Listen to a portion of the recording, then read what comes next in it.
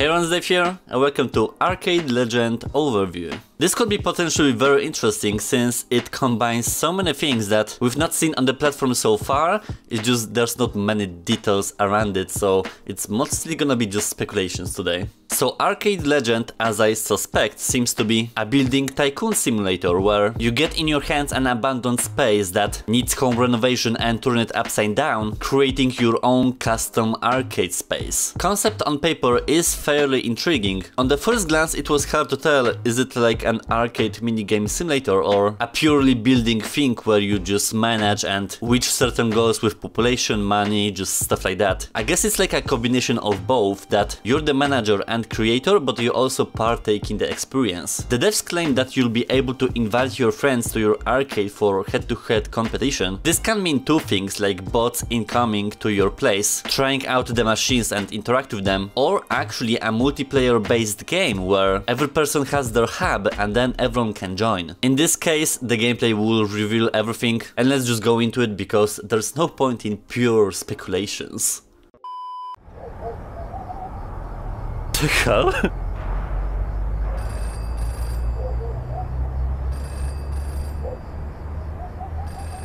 the game is pushing me out.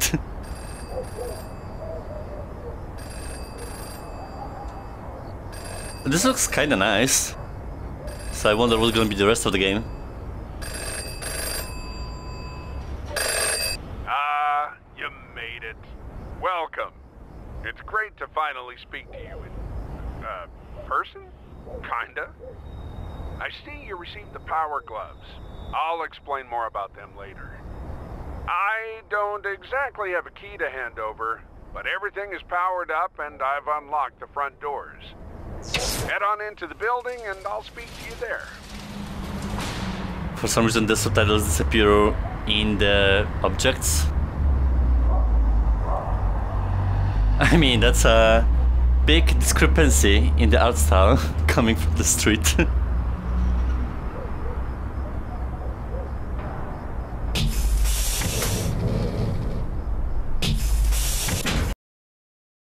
welcome to your new arcade. It, well, it's not new, but it's yours now. This is the lobby. The back office is on the left, and the arcade is through those doors straight ahead. The power gloves you're this is your new office. Again, not new. This is your task list. Completing tasks will improve your arcade and increase its reputation. This screen details what to do and the reward you'll receive for completing the task. Step 1. Click the track button in the bottom right-hand corner to track this task. Great! You can view track tasks on the go from well done. I'm too fast. Your first task complete. Click the claim button on the back of your hand to collect your reward and reveal your next task. Congratulations on your first reward. When you're ready, select and track the new task to continue. Oh, damn. Fine, so let's just Ooh, it looks like that last task rewarded you with enough cash and reputation to buy your first arcade game. Very exciting. Navigate to the store section of the arcade manager to make a purchase. Oh, damn. I mean, I don't know which one. I mean, even though we have a cash, we only have one reputation, so this one. Ah, Hypershoot. Arcade basketball reinvented. I'm sure it's going to be a real slam dunk with your customers. But in all seriousness, don't try to dunk the ring. It's not designed for that. Our delivery drivers don't mess around. New games are delivered instantly. Head over to the loading bay in the arcade and select your game from the terminal to collect it. There's so many things like customizable. This is really a building simulator come to life. Where's the music? Where's just everything? And yeah, this is, seems to be a multiplayer as well. But we need to actually have an arcade.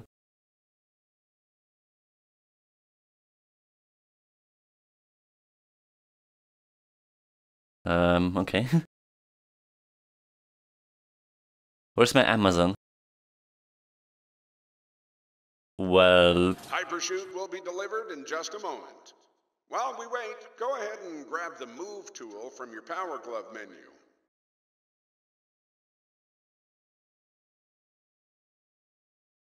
how?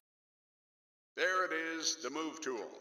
This little wonder allows you to move even the bulkiest arcade equipment around with ease. To unload your game from the loading bay, stand back from the doorway, aim the Move tool at the machine, then squeeze the trigger to grab it. Perfect. Well, what are you waiting for? What's the point of owning an arcade if you don't get to play the games for free? Well, kinda for free. Tokens are key to this arcade, and you'll need them if you want to win tickets and redeem prizes. There are a few different ways to get tokens, but more on that later. Your tokens are attached to your power glove and located on the inside of your wrists. Grab a token and insert it into the token acceptor to credit the game. I wouldn't say this is the easiest controls I've seen, because normally you would grab it and then kinda turn it, but with a joystick, not with yourself. So it's like very wonky and as a perfectionist myself, if something is curved or not straight, that's a problem. Fair enough.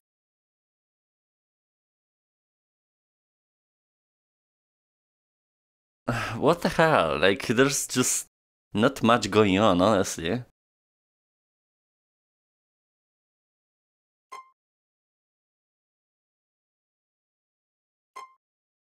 Watch out, leaderboards! That's one more token ready to be used on a high score earning, jackpot winning game session. If you ever run low on tokens, remember to take a look around the arcade and see what you can find.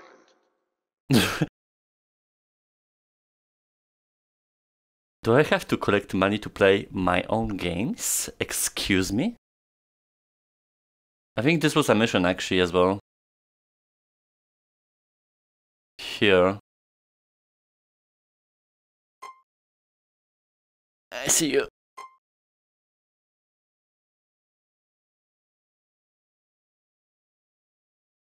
That should suffice.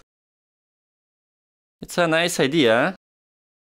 I mean, I don't know. we just insert it then? To where? Holy hell.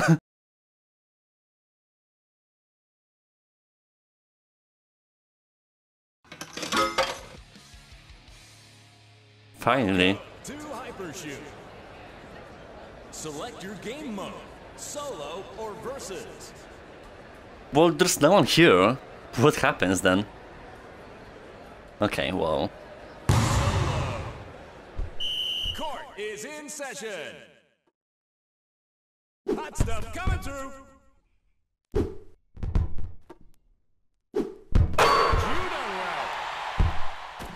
It's not the most advanced physics. for a good time. You actually have to throw it.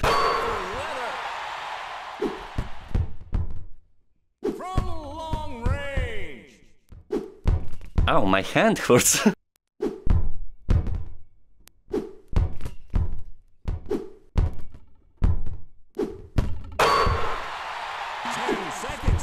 Oh, there's a timer.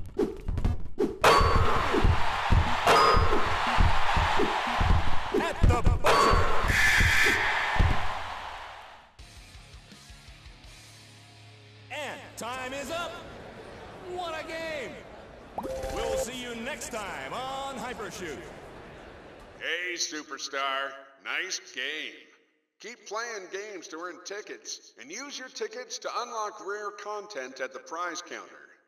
Well, once you restore the prize counter, you'll unlock rare content from there. Anyway, that's another task completed. Claim your reward from the screen on the back of your hand, and then head to the back office and check out your task list to see what's next. I'm honestly bored. Like, there's not much to me that I find interesting. Cleaning, decoration. Yeah, you really need to like this type of stuff because there's so much work to be done to actually that to look good and then have something decent going on, you have to spend a lot of time here, which I don't have. I guess we'll clean something. Ugh, this place has seen better days. Looks like just aim at a piece of trash and pull the trigger to blast it to oblivion.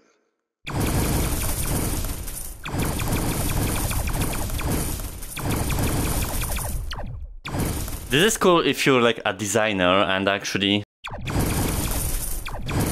want to create some personal spaces, but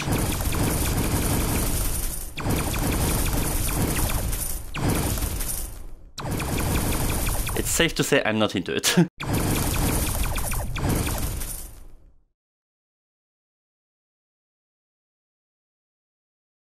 There we go. The arcade looks great. Eh, Well, not great, but pretty good. Yeah, no, there's too much to do an overview on. I don't know, I wish there would be more stuff happening, like background music, maybe some people already come in. I know, like, you have to spend so much energy initially in the first moments of the game to make it work. It's very specific experience in a way that is just not for everyone.